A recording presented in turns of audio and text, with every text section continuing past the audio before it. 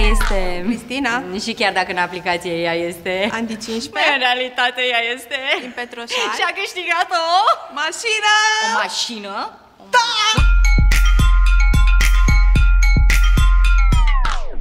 Da!